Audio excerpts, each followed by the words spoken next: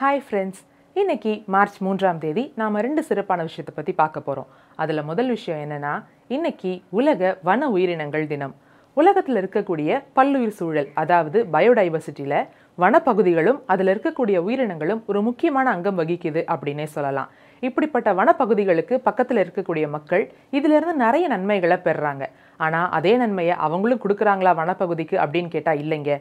நாம் அந்த வனப்பகுதிகளை அழிச்சிட்டு தான் இருக்கோம். இதே நிலைமை தொடர்ந்தா இன்னும் சில ஆண்டுகளில் இப்போ இருக்கக்கூடிய உயிரினங்களில் இருபத்தி ஐந்து விழுக்காடு அழிஞ்சு போகிற அபாயம் இருக்குது அப்படின்னும் சொல்கிறாங்க சரி இந்த வன உயிரினங்கள் தினம் எப்படி வந்துச்சு அப்படிங்கிறத பற்றி பார்ப்போம் இரண்டாயிரத்தி பதிமூன்றாம் ஆண்டு ஐநா சபையின் அறுபத்தி எட்டாவது பொதுக்கூட்டமானது டிசம்பர் இருபதாம் தேதி நடந்துச்சு. இதில் ஆயிரத்தி தொள்ளாயிரத்தி எழுபத்தி மூன்றாம் ஆண்டு மார்ச் மூன்றாம் தேதி சிஐடிஇஎஸ் அப்படிங்கிற ஒப்பந்தமானது கையெழுத்திடப்பட்டது.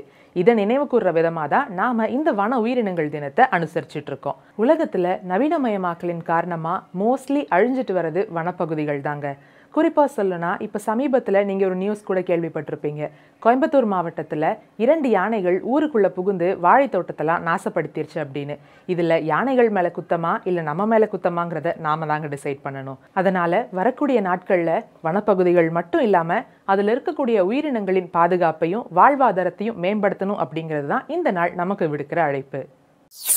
இன்னைக்கு நம்ம ரெண்டாவதாக பார்க்க போகிற விஷயம் உலக செவித்திறன் தினம். வேர்ல்ட் ஹெல்த் ஆர்கனைசேஷனோட அறிவுறுத்தலின்படி ஒவ்வொரு ஆண்டும் மார்ச் மூன்றாம் தேதியை உலக செவித்திறன் தினமாக நாம் கடைபிடிச்சிட்டு இருக்கோம். ஒரு பெண் கர்ப்பமான மூன்றாவது மாதத்துலேருந்தே அவங்க வயிற்றில் இருக்கக்கூடிய சிசுவுக்கு காது கேட்க ஸ்டார்ட் பண்ணிடும்.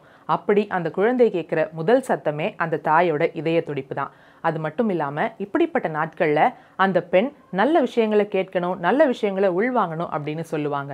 அது ஏன் அப்படின்னு பார்த்தோன்னா அந்த தாய் கேட்கக்கூடிய எல்லாத்தையுமே வயிற்றில் இருக்கக்கூடிய அந்த குழந்தையும் கேட்கும். இரண்டாயிரத்தி பத்தொன்பதாம் ஆண்டு டபிள்யூஹெச்ஓ நிறுவனத்தின் ஸ்டாட்டிஸ்டிக்ஸ் படி உலகத்தில் மொத்தம் நாற்பத்தி ஆறு புள்ளி ஆறு கோடி மக்கள் செவித்திறன் குறைபாடுகளோட இருக்கிறதாகவும் அதிலும் குறிப்பாக முப்பத்தி நான்கு லட்சம் பேர் குழந்தைகள் அப்படின்னும் சொல்லியிருக்காங்க.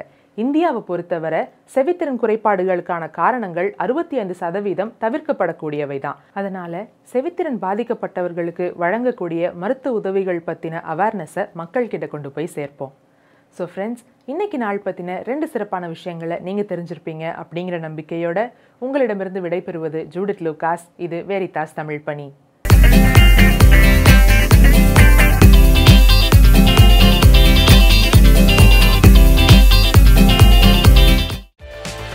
ரேடியோ வெரிதாஸ் தமிழ் சேனல்ல இருக்க மேலும் பல வீடியோக்களை பார்க்க லைக் பண்ணுங்க ஷேர் பண்ணுங்க சப்ஸ்கிரைப் பண்ணுங்க.